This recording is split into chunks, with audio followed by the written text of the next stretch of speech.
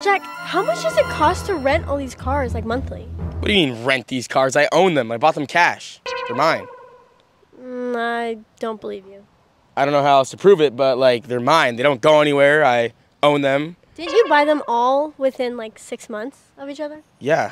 Is that a problem? So you rented them. Bro, I don't rent them. You can look them up. Like, look at the license plates. I don't know what to tell you. Like, I literally painted on that one. My name's on that one. My name's on this one. And uh, my name's on this one, too. Like, you can look at the Instagrams. They're on the window. Or they're leased. Oh, bro. All right. I don't even care. So- You're, you're just a dumb only